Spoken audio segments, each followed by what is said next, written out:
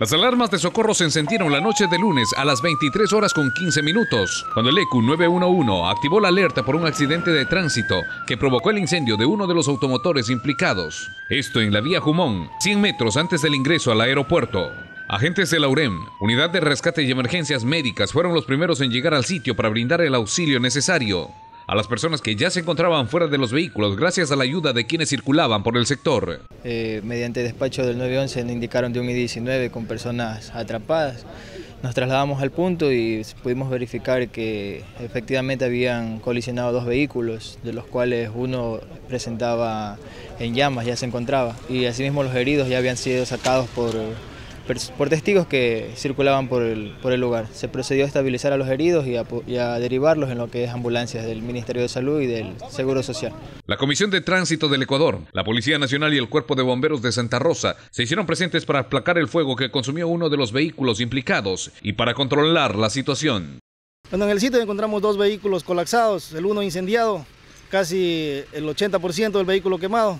Entonces procedimos a hacer este, apagar el fuego un espumante especial que por el derrame de combustible es el adecuado que se debe utilizar. Las cuatro víctimas del accidente fueron identificados como Paul M, de 25 años, Gabriela R, de 29 años, que iban en el auto de color vino, Manuel B, de 40 años, y Diana F, de 28 años de edad, que se trasladaban en el auto gris. Pero su estado era, era un poco grave porque se las veía a simple vista que se trataba de, de, personas este, semi perdón, multi, múltiples este, fracturas. Entonces, se supone que cuando hay este tipo de escenas, este, las personas se encuentran un poquito delicadas de salud. Los heridos fueron atendidos por personal de emergencias y trasladados al Hospital Santa Teresita. Presentaban múltiples heridas, tanto en su cuerpo como en, toda su, su, cara.